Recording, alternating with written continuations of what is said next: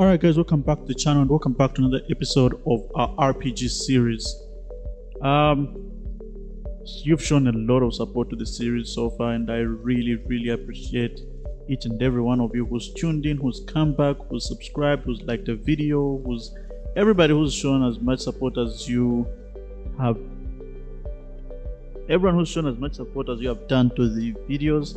I appreciate it. Um, we are already at 170 subscribers something like that. And two months ago we were at 12 so the growth has been great and i really really appreciate everything that you guys have done. So um the pro- the trajectory of how our project is going to go we're going to do the um, uh, the, the the the death uh, the player death. Then we're going to um, move away from the combat for some time. So we do other mechanics. So we're going to do an inventory system before we come back to the combat for our archer combat. And then from there we can look at how we go forward. But if you want us to go the other route where we're going to the archer combat you can just let me know in the comments and then depending on how the feedback is. If there isn't we'll go with the way i've said it but if there is feedback uh, we, will go with uh, whatever you guys would decide in the comment section. Okay so today's episode let's kill our player. So um, what we want to achieve here is kind of uh, you've seen most games have got um, a death screen and stuff like that when the player dies so GTA has the famous wasted. Um, I think Dark Souls has you died, something like that, and uh, different games have got different death screens. So we're gonna create our own uh, death screen here.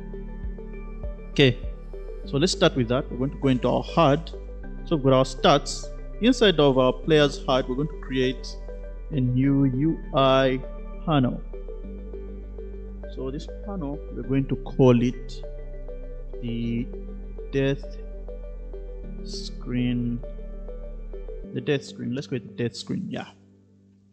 Inside of this death screen we're going to create a new UI text okay? We'll change its font size to 300 um, let's go to the actual text so that we we scale it up. So let me just go into 2d view here. Just grab that. Scale it up. Bring it in the middle. And then scale it up like that. Then maybe bold that will require us to scale it up some more. Bring it back in the middle. Okay let's make it 250 because 300 seems rather big. And then center it I'm gonna change this. So if you've already imported to some fonts you can create a font asset. I haven't yet. We might start looking at that also in the next episode so that we start at least getting things the way we want them to be. Especially when we get into the inventory system it's very dependent on our fonts and images and stuff like that. So we will be looking at that and also the skill system as well will be very dependent on that. Let's go and pick one of these fonts for now. We'll use the famous um, should we use dyed? Um, yeah let's say you died change the text to a red color. Okay then we're going to call that the um, death text.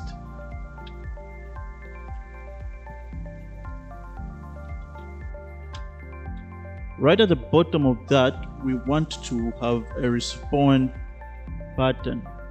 So we're not going to deal with respawning yet. We're just going to put it there. But the plan is that um,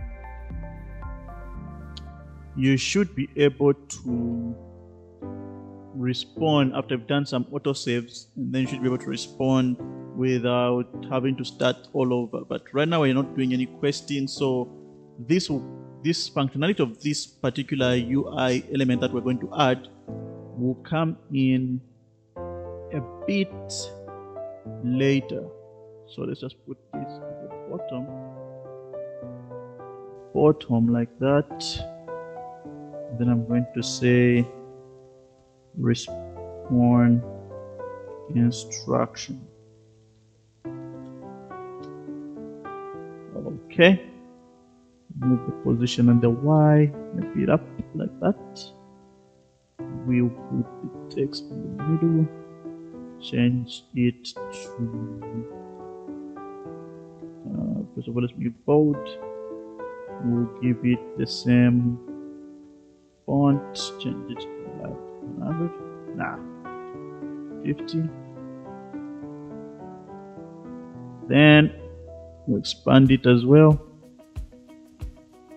Uh, place it in the middle. Then we're gonna say press. So we're gonna say, let's say, rather let's just it, uh, yeah. So let's say press to respawn.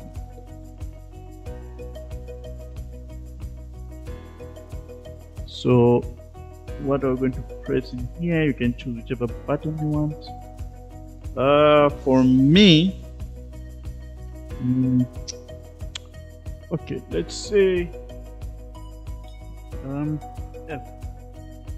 I'm gonna use F. Let me just make that. Press F to respawn. Let's give it a bit of um, an outline. So I'm gonna give it that. Nope, wrong text.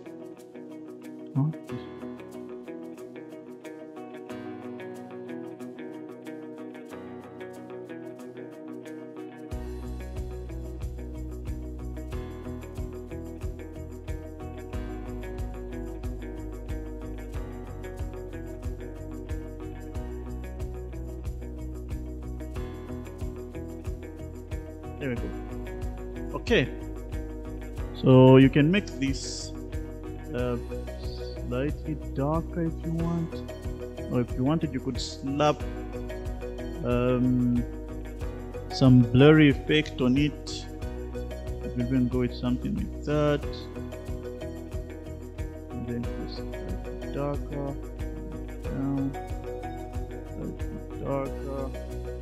There we go. Okay. So that's our death screen. I'm gonna turn that off. We're not using it yet. Then um, the next thing we're going to do is to go window.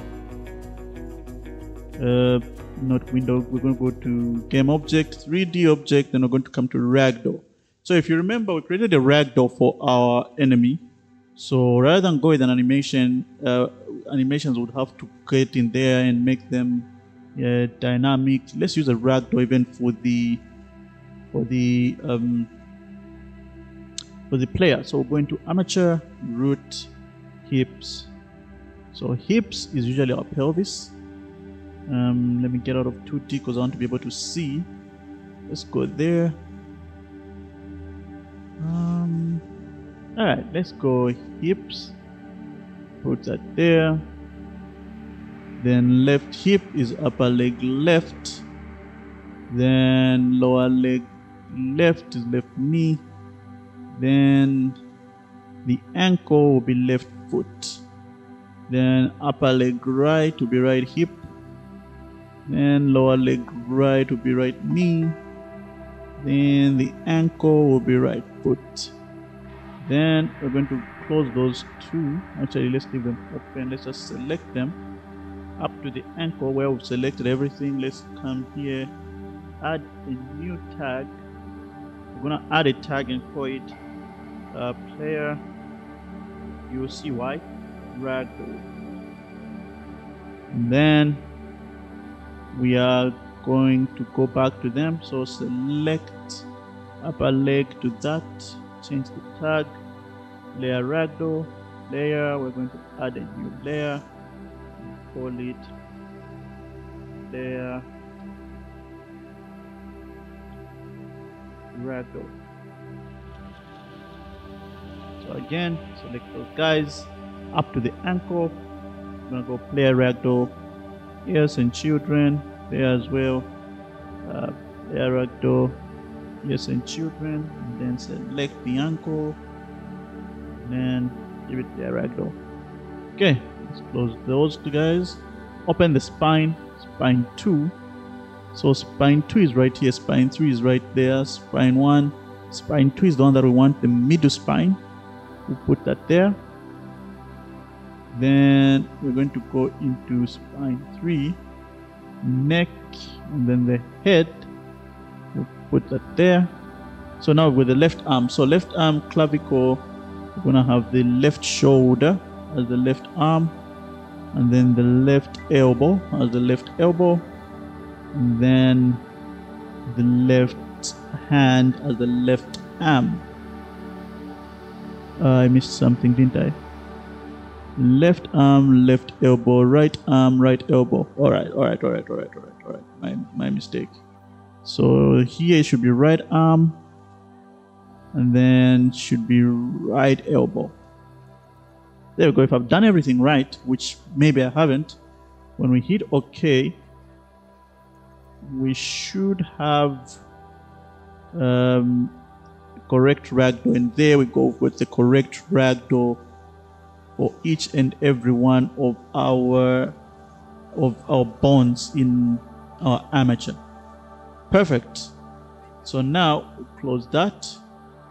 Then we go to the uh, to the player.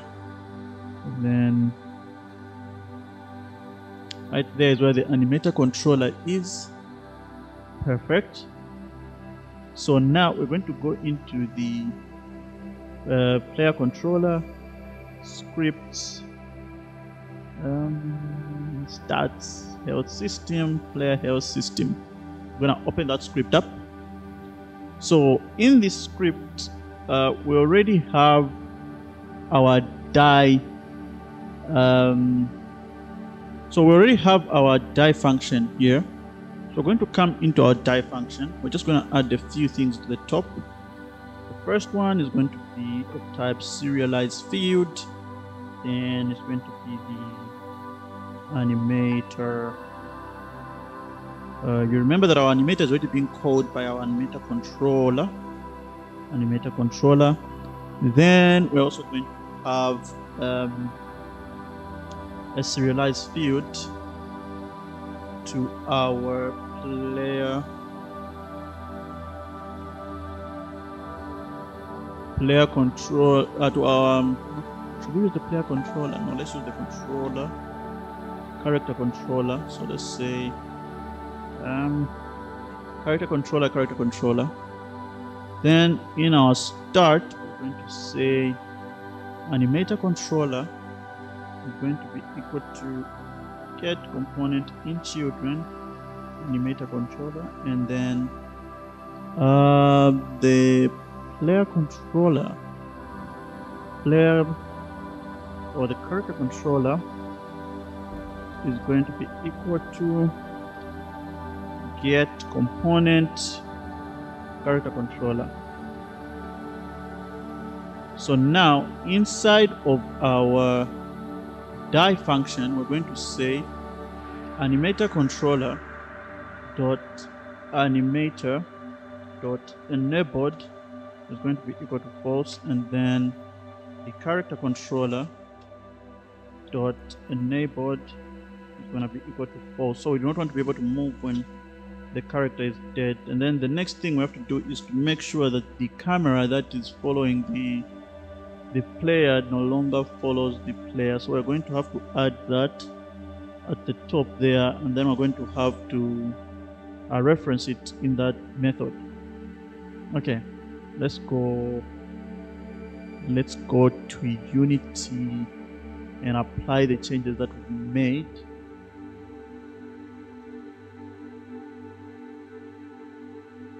So if we come to the player under the health system so now we have our player controller and our animator controller there then once the player dies uh, the ragdoll physics should kick in uh, just by us disabling those things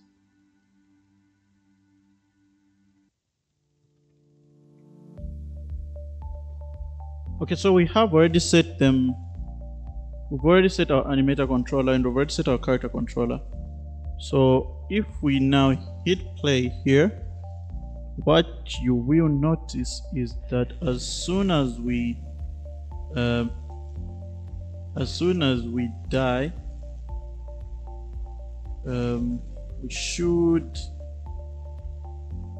there we go so um, okay, we've been hit far away, but we're gonna work on that ragdoll issue later. So we shouldn't be hit so far away. I'm gonna work on that in another video, but let's deal with the with the death screen. Let's deal with the death screen. So uh, right in the death let's come here and get serialized field of uh, type public game object. Now let's make it a private one. So private game object. Death screen. Oh my goodness. Death screen. Inside of our death inside of a die function we're going to say test screen dot set active uh, true. That's it.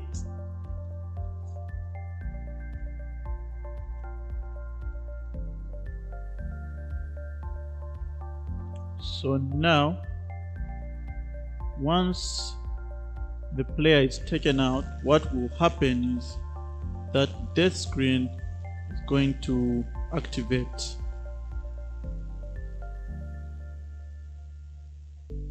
So if we just come on. All right. We died, but death screen didn't activate. Why didn't death? Oh, we didn't set it up. Oh. Okay. Okay. Okay. Okay. Okay. Okay. Okay. Player health system. We need the death screen. We'll set that as the death screen. Let's also add one more line. So we're going to say time dot time scale is gonna be equal to zero f so what we are literally saying here is that once we have died, we'll set the time to zero. And once we resume or we respawn, we'll set it back to one so that the game keeps running. So you've already known how we're going to do our pausing and everything with the time dot time scale. So let's go to him and let's have him just take us out. Ooh. He's slicing and dicing, and there we go. We died. So that's it for the for the death issue. We're going to now have a situation where uh, we, we respawn, but again, that's for another time. Um, we could actually do a quick respawn right here, and then we would respawn from a certain location. But I want our respawn to be tied to our uh, quest system, so we're not going to do that now. But right now, there you go you have a functioning death screen and there's text right now which is doing nothing. All right um, the next one we will uh, begin to implement an inventory system so that we can pick up some weapons. So we'll pick up a bow and then once we've finished picking up a bow and having everything interactable we will then go into the archery system because at that point we'll have a bow so since we do not have a bow, we're going to go into the inventory system so that we pick it up. All right, if you enjoyed this episode, leave a like, comment, subscribe if you're new to the channel. Keep showing the support that you guys have been showing. Um, I'm enjoying making this game, and um, depending on how it will go, we might even put it uh, on Itchy or Steam or somewhere, depending on how far we'll go with it. But I also look forward to seeing some of the, the stuff that you guys are doing. I've been seeing a lot of cool stuff from some some of you guys, and it's um, impressive how much you guys are doing with um, what you are learning from this channel and even from other channels. Just keep up with the work, uh, develop your games, have fun developing. That's the whole point. You're supposed to have fun doing it. And uh, yeah, if you have any questions, you can just join our Discord and then I'll do my best to answer them. So if you enjoyed this episode again, leave a like, comment, subscribe to the channel if you're new, and uh, thank you very much, and I'll see you all in the next one.